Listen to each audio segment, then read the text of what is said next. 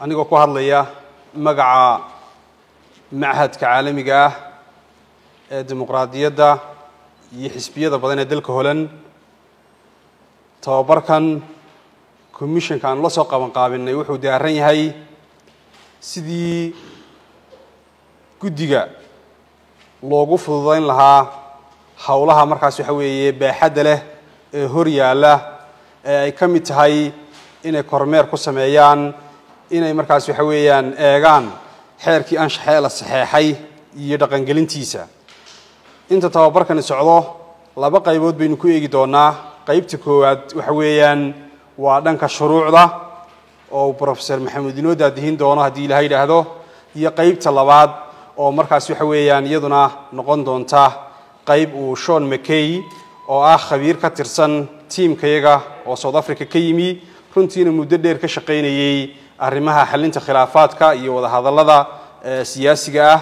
Shirar badan oo wadamo badan markaas waxa weeyaan loo qabtay xisbiyadoodana runtii soo daadihiyey. Kana ahaa markaas waxa weeyaan howl fudaydiye oo labada cishe dambe isaguna markaas waxa weye aada u lafaguri doona inagoo eegi doona maadaama aynu soomaali nahay waxa weeyaan dhaqankeena ay ku jirto wadahadalka iyo xalinta khilaafaadku. Sidoo kalena aynu la eegi karno markaas waxa weeyaan caalamiga waddamada kale iyo sida looga xaliyo iyo sida guddiyada noocan oo kale ah ay u shaqeeyaan. Marka runtii aad baan idiin soo dhaweyneynaa waxaan rajayneynaa wax badan in markaas waxa weye halkan aynu isku weydaarsan doono saddexda maalmood ee halkan aynu wada joogno. Aad iyo aad baan mar labaad iyo mar saddexaad baan idiin soo dhaweynayaa waad mahadsantihiin waxaa maanta farxad noo ah runtii inuu kulankan oo muhiimi noo ah hawsha maanta qaranka u taalla ama commissioner ahaan u taalla oo aynu ognahay dhammaanteenna u wada diyaargalownay sidii aynu maxaanku dhahay doorasha noogu qabsoomi lahayd iyo siday noo ilaashan lahayn anshaxmarinteeda siday noo kala hagi lahayn tartamayaasha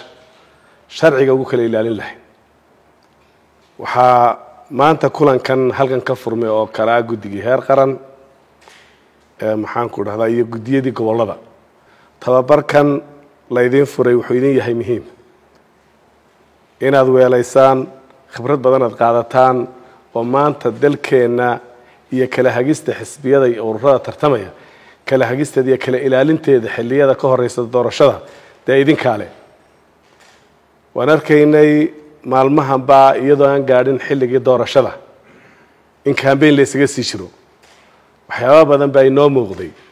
Waxaa la doonayaa idinkoo ah guddi madax bannaan oo shaqadiinna u madax bannaan inaad maxaanku idhahdaa ay ku ilaalisaan sharciga xisbiyada iyo ururadaba qolo walba waxaynu horey ugu astaynay xilli ay leeyihiin inay cambaynka u baxaan.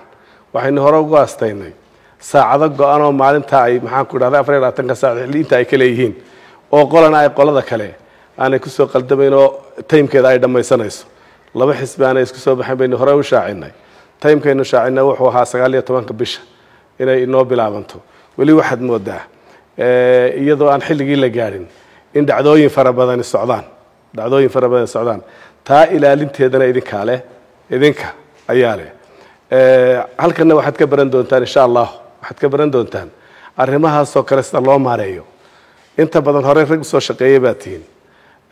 Qaybo badanoo idinka midii horay waad u soo qabateen doorashooyin waad u soo hagteen marinta rika waad soo qabateen. Inta cusubna maxaan ku dhahdaay dee aqoontii baa loo hayaa waxaynu ognahay un baynu rabnaa inaynu ka wada shaqayno. Tale aynu arkayno un baynu rabnaa inaynu wada hagno wanaaggeeda ka talino.